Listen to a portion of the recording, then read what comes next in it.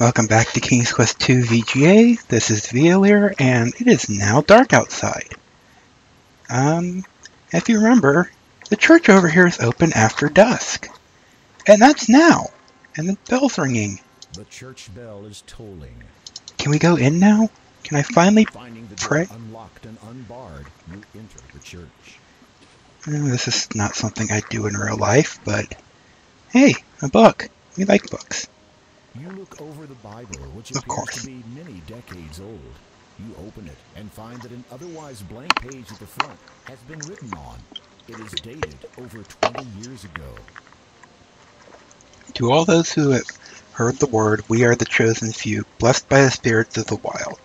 Destined for greatness, concealed by a cloth, there is but one challenge we must overcome before our future can be set in stone.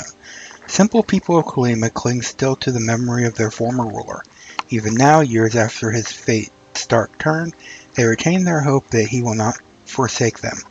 As long as this is so, our goal cannot be attained. So, my brothers, it is our duty to You return the Bible to where you found it. You also notice that a page from the Bible has fallen onto the floor. I wasn't done reading. You pick up the fallen page and read it. The words appear to have been written recently. Spiders earnest with spindly eight spin webs with negligible weight. Can we get back to that? over the Bible. Okay. So, my brothers, it is our duty to see the land cleansed of its blight. Do not fear our enemy. Our faith, purpose, and power will guide us to the future we were promised. A path has been found to him, O brothers. Let us let him hear the warning howls. The cloth will be lifted for all time, and our songs will echo the end of him, his influence, and his family. Our time is at hand. Low Wolf. Hmm.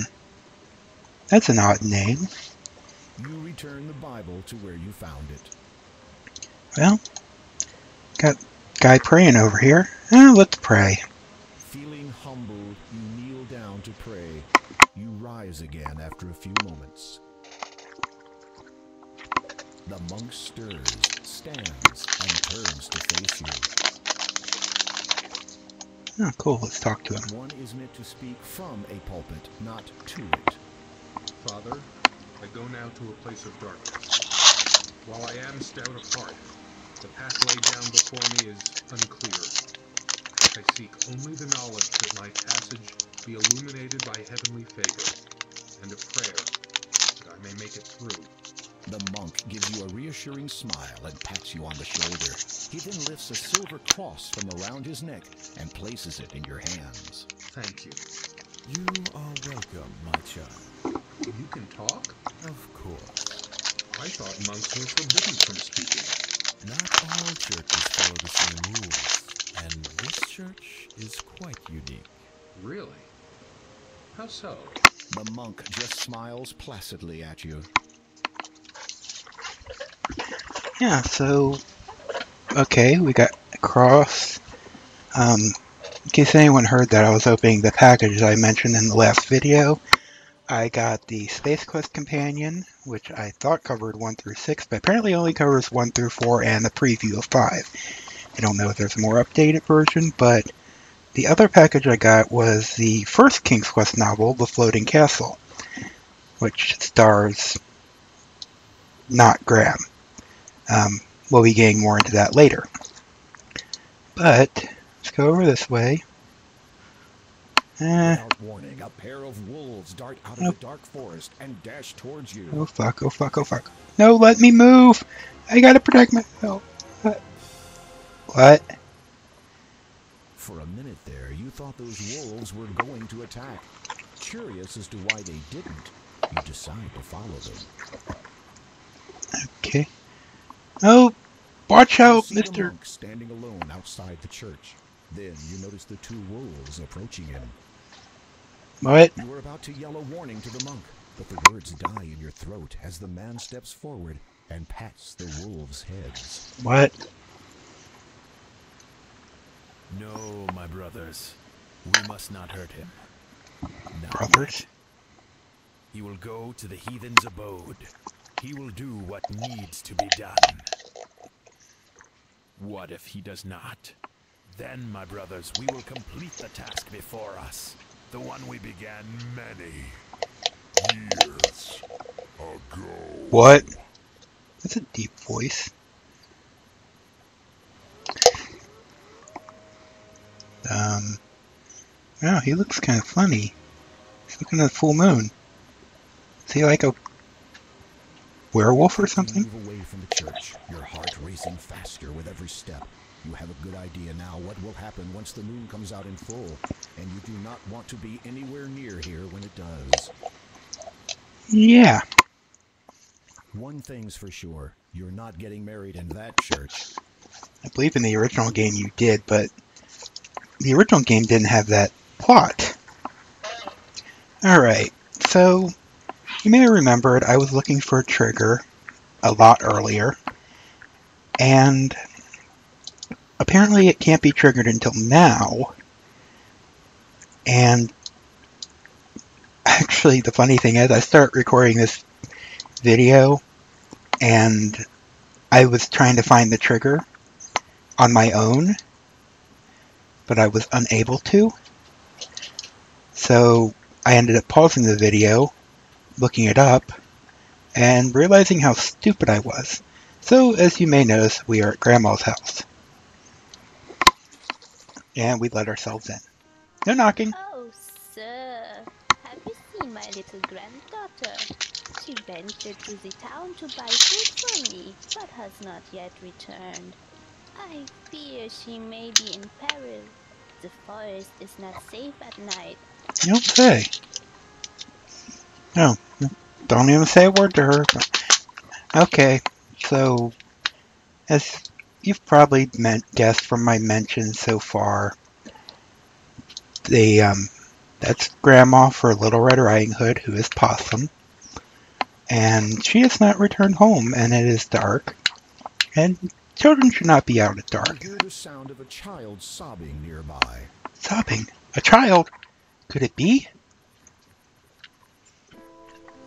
As you approach, you recognize the child. It is Possum, the little girl you helped earlier today.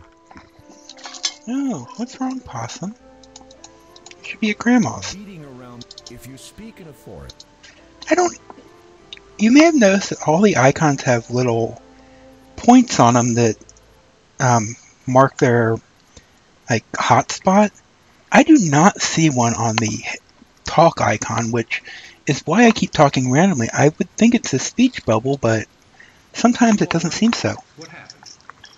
I went into town to buy some chicken soup for my grandma. I always try to reach home before dark, but this eve I lost my way and was was atta- attacked. Attacked? A wolf attacked you? No, not by a wolf, a dwarf. Dwarf. for a moment you're not sure that you heard correctly. Uh, a dwarf, did you say? He jumped out at me, took my food, and I ran away.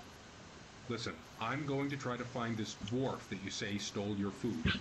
You get back to your grandma, understand? Possum nods, says a soft thank you, and heads back home. Okay, so now we are on the quest for food. Save. And it looks like we get to go deal with our friend the dwarf. The dwarf. Why did I call that save? I meant to call that. You know, since we're going for food. I don't really like to think of two things at once. Oh, look, we're at the dwarf house. And I believe what we're supposed to do here, I'm going to resave it since we're closer. You may have remembered me knocking on the door several times. You rap on the treehouse door and wait a moment, but get no response. And it looks like this is going to be a random thing again.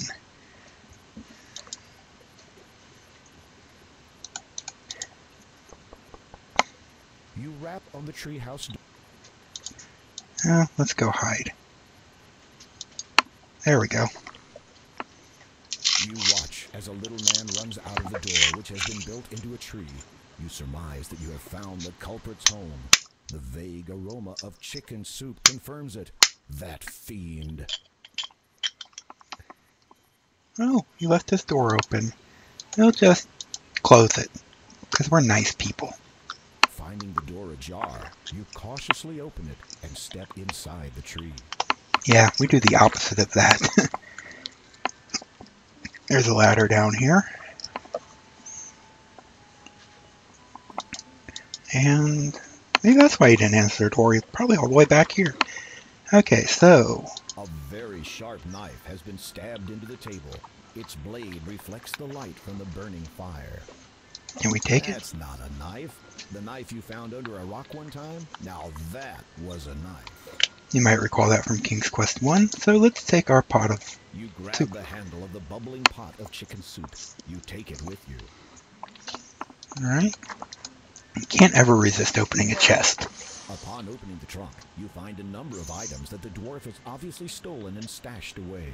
Among them are some gold coins. They display the distinctive face of the first king. They could only have come from the magic chest of Daventry. That must be the dwarf that stole the chest in the first place. Let's close it. close the chest.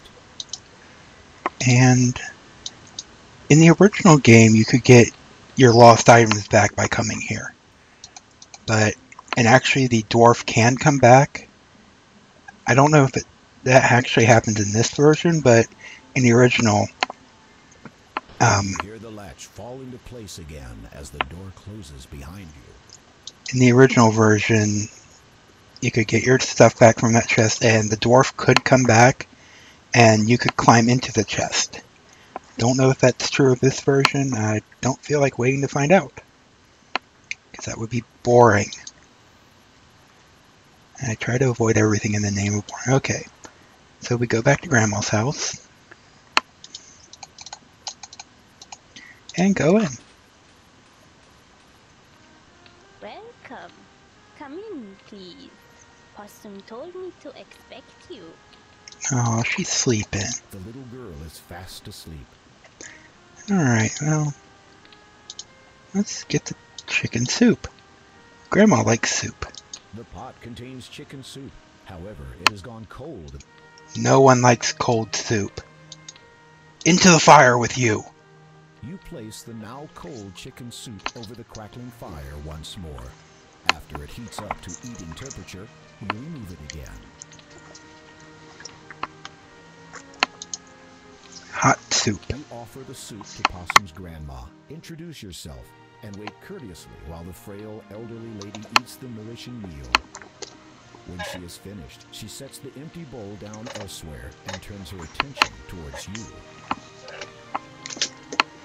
Alright, so she likes us now. If you would like to speak with me for a while, I would welcome your company. A person should never turn away a visitor, especially when she reaches the twilight of her life. You can't help but feel a sense of finality in the old woman's words. Oh dear. You must have something in return for your kindness. You do not need to risk your safety for an old, worn-out woman like myself. Look under the bed. You should find something to keep you a little warmer on a cold night like this. Hmm. Under the bed. You peer under the bed and find a thick black cloak. Lying atop it is a beautiful ruby encrusted ring. You pick both up with reverence. I could not possibly take these fine things from you. Oh, please. I want you to have them. Nights in Kolyma are cold, believe me. As for the ring, well, perhaps it is better that I do not have it to remind me. As you wish. Remind you of what? They say a home is one's castle, but You have a charming young granddaughter. Grandma smiles at you graciously. She is a treasure to me. I would do anything to ensure that no harm comes to her. If I may inquire, what became of her parents? Grandma frowns, and her eyes darken for a moment before she forces a melancholy smile to her face. They were lost to us many years ago. I am afraid dear Possum never really knew her parents. It must have been a daunting task raising a child by yourself, especially at your uh, I mean, At my age, I am certainly not as young as I used to be, and there is no shame in that. I have tried to raise her as best I could to keep her safe and well. However, I fear that as of late the reverse has become truer. Hmm. If you please, I was hoping you might tell me of the cloak and ring's origin. Oh, good. Origin story. old closes her eyes as if the memory she seeks is painful to her senses. They were my husband's. He was a proud man, the last of his line. His family had been rich, a great deal of old money, you might say. They lived in that castle you might have seen to the north. Location upon that island is evidence of how much they valued their privacy. He was a good man, my husband. He took care of me. Certainly he had his strange habits. Most men do, if you will pardon me for saying so. I suspect that he practiced magic, so I could never catch him in the act. He would frequently journey afar, taking that black cloak with him wherever he went, to places he would not talk about. He said that it represented something important to a certain group of people, and that I was never to mention it to anyone. Hmm. He was always there for me, always, until that fateful night. We had been married just over a year. Grandma was a hottie. Child. We were both out walking in the Weirwood Forest late one night. The air was warm, and in our youth we paid little attention to the world and its many dangers. Besides, there was a full moon. We could see clearly enough. A shadow passed over us. We looked up, thinking it might have been a stray cloud. It was not. Descending upon us like a demon was the largest, most hideous bat I had ever seen. Its fangs were bared, and it dove straight for me. I must have screamed. My husband flung himself in front of me to protect me. He swung his arms about frantically in hopes of warding the horrid thing away. Perhaps he was trying to cast a spell, but could not recall how to panic. It paid him no heed and would not be deterred. It swooped again and again relentlessly. At one point, my husband's hand must have clipped the bat's wing because it lost control and crashed into his shoulder. He tried to wrest the foul creature away, but then he shrieked suddenly. The horrid thing had bitten him. Oh, well, at least it didn't get him in the He neck. never did recover from that incident.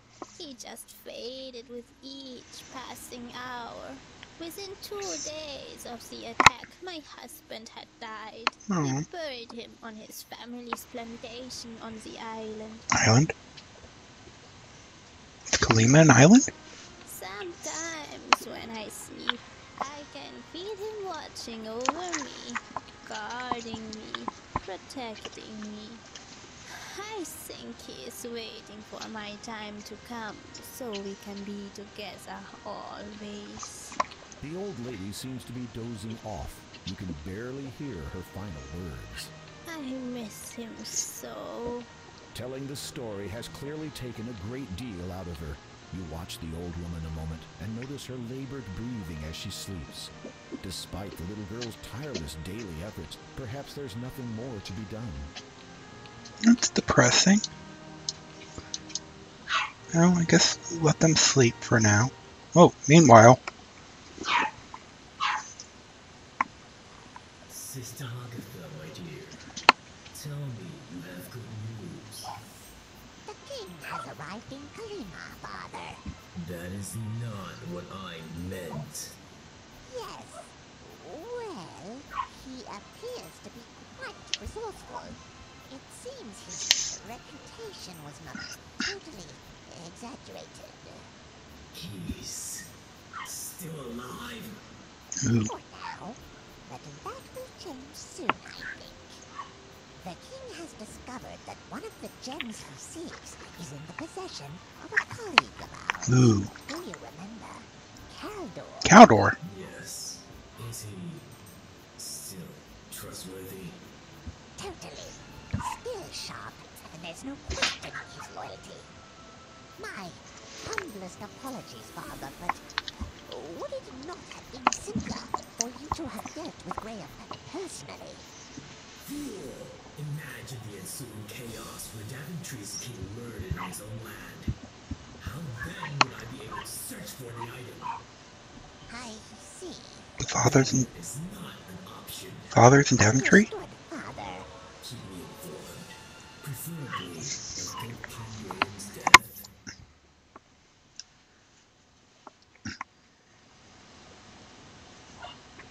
Okay, so we found out a lot of things just now. Um, apparently, Caldaur is alive. I believe the statue said he was dead. Um, we received a black cloak. If you remember, Hagatha had a black cloak, and that's who was in that cutscene. And she said that Caldaur was a um, colleague of theirs.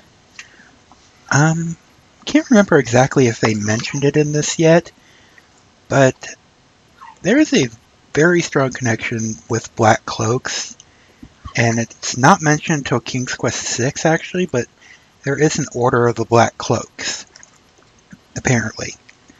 And this is one of the additions to the game. They um, they actually took the Black Cloak the- it's like one line in King's Quest Six, but the fans have taken it and run with it. So that they're putting that into this story, and there's a couple more times it'll come up in later games, but I believe now is a good time to end this video since we've found out a lot. So I will catch you next time. Thank you.